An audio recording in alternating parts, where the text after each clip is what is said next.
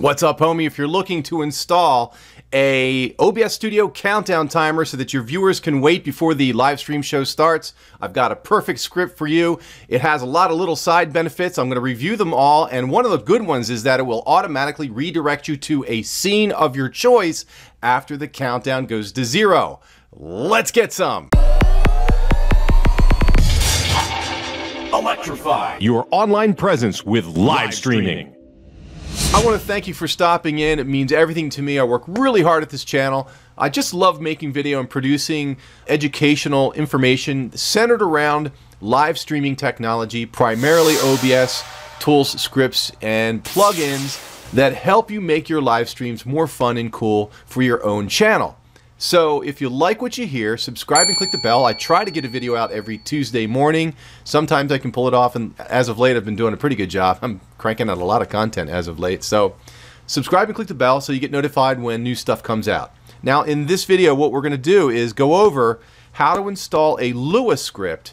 Okay, it's not a tool, it's not a plugin, it's just a single file that is uh, set up to allow you to have a countdown. And the primary purpose for countdowns is to allow your people who love you the most to come in and sort of hang out so that your uh, total viewer count number goes up. It's kind of like a psychological boost when you start your show and you see that there's a couple people in waiting for you to start the show. It feels good, it energizes you, and it makes the show better because you feel that people want to actually hang out and talk with you and view your content. It just feels so good. So let me show you what it looks like. If I click the scene that contains the countdown, it has text it's counting down from five seconds, and then it switches over automatically to another scene with an animation in it. So I'm going to show you how to do the transition, how to apply the Lua script, all the settings, everything. Let's get into installation, and then we'll move on to the settings. Here we go.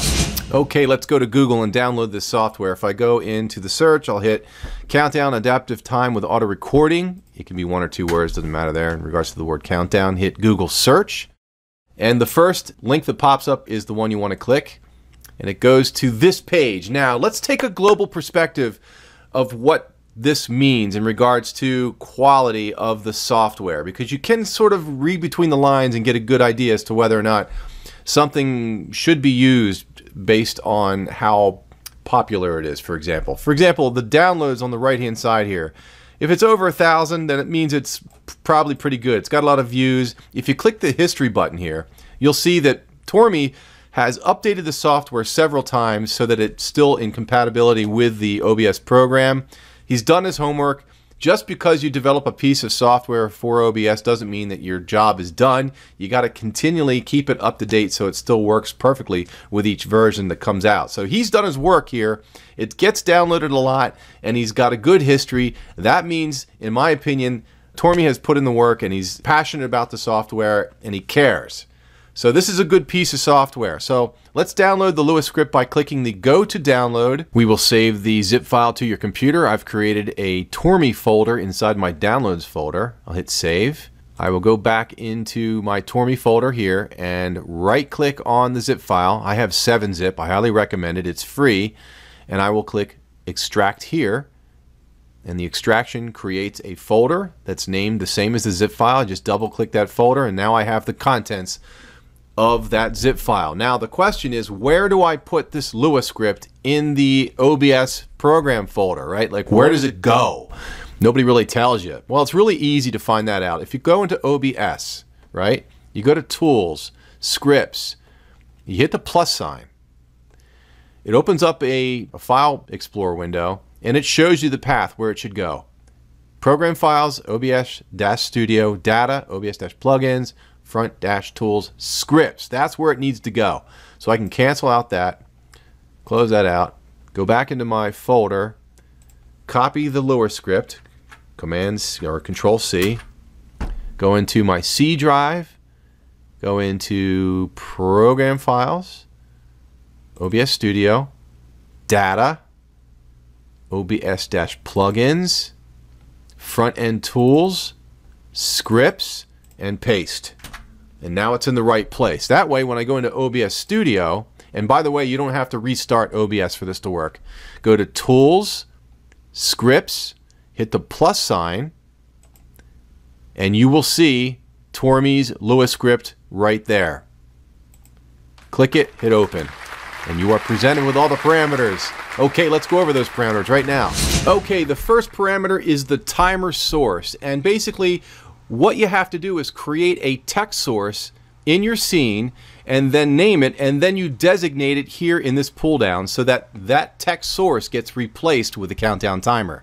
We'll dig into that in just one sec. The format basically is what will be shown. Seconds, minutes or seconds, hours, minutes and seconds, days, hours, minutes and seconds. I think in most cases you're not going to want to select hour or day because you don't want to keep people waiting unless maybe, you know, something like Bob Lazar knocks on your front door and tells you that a UFO is going to be landing on your property.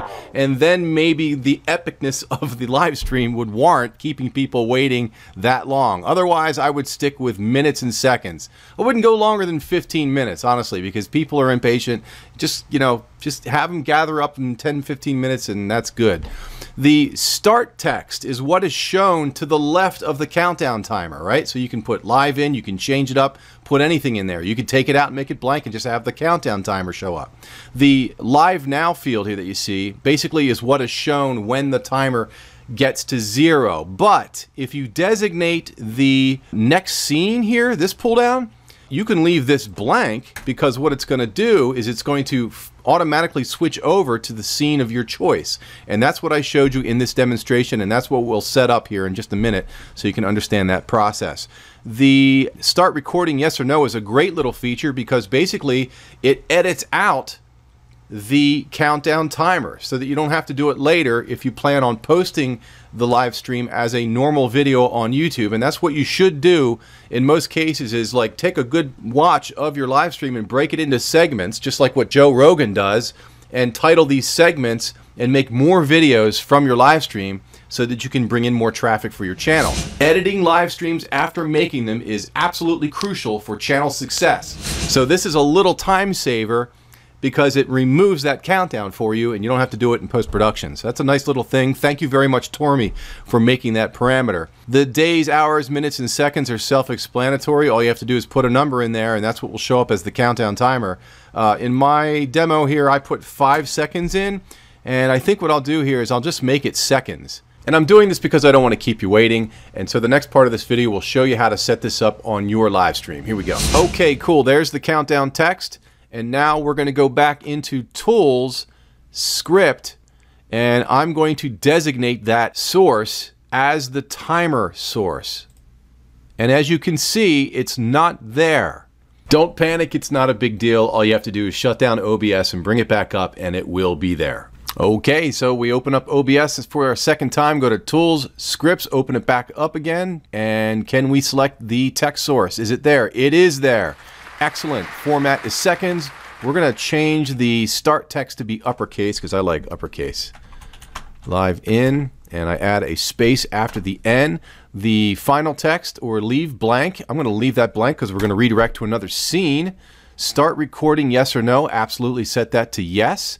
And the next scene is going to be countdown redirect. That's what I've got it set up to do. We're at five seconds like we set before. We'll hit close and go into the countdown and we'll see what happens.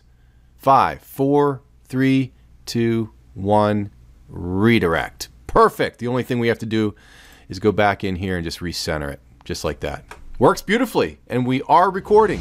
Remember that Move Transition plugin that I was talking about? Well, there is a whole bunch of stuff that it can do for you. So if you'd like to learn more about it, click this link right here and I will get you started with the plugin. It is super fun and it, your visitors will love your live streams when you get to understand how it works. Anyway, best wishes, stay strong and keep fighting. I'll catch you on the flip side.